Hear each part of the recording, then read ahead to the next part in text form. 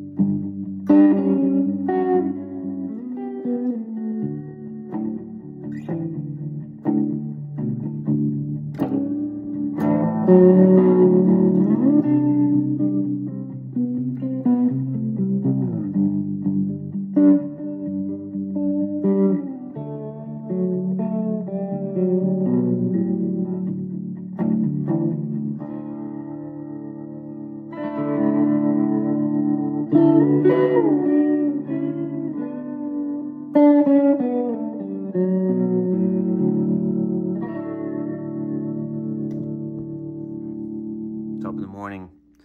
How's it going, everybody? Hump day. We're there again. Um, hope everybody's doing great. Just thought I'd do a quick check-in.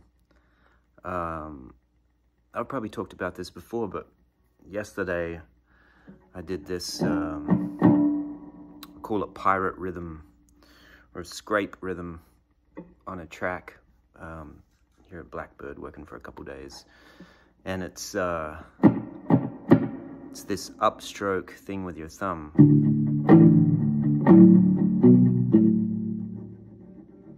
Slightly muted.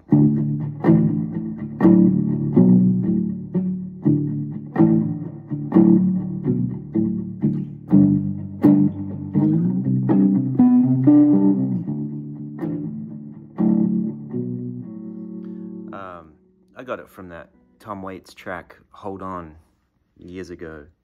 Um, I think whoever played that played it a slightly different way, but that's kind of the way I heard it. Um, it might have been Marc Ribot. Anyway, it's a cool trick to have in your bag every now and then, and um, uh, hope everybody's doing great and. I wanted to say I'm playing a show at Third and Lindsley on June 26th this month. Third and Lindsley in Nashville, if you guys want to come out. If anyone's close by, uh, be great to see you. Come and say good day. Um, I had to leave really quickly after the last show because it was a huge fire behind our house. Um, so I didn't really get to say hi to anybody, but uh, that shouldn't happen this time. if you make it out, uh, love to say good day. So, um, hope you're all good and um, keep the questions coming if you got any. Uh, I'm super thrilled to get this old guitar. There, there are a few guitars that stay with you I feel like, or at least stay with me after playing them one time. You never seem to forget them. There's like something in them that gets into your brain and your blood.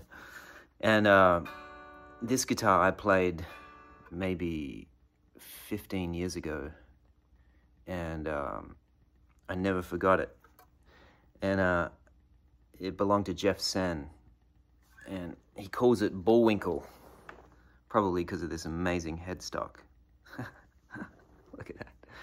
But it's an old SS2L Teisco that he converted and did some modifications to it.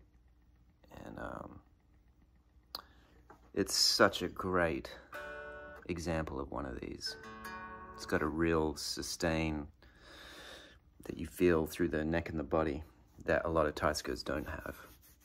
Um, anyway, he was going through the pile the other day and he reached out to me and said, Hey, I think I'm going to launch that guitar and I think you should have it. And I immediately remembered it and have always thought about it. And I'm thrilled to um, be making music with it. It's a great guitar. Anyway, I hope you guys are great. And um, yeah, June 26th show starts at about 7.30 and I'm not sure what I'm going to play yet, but I'm going to invite some friends out and it should be a really musical night. Um, yeah, see you guys soon.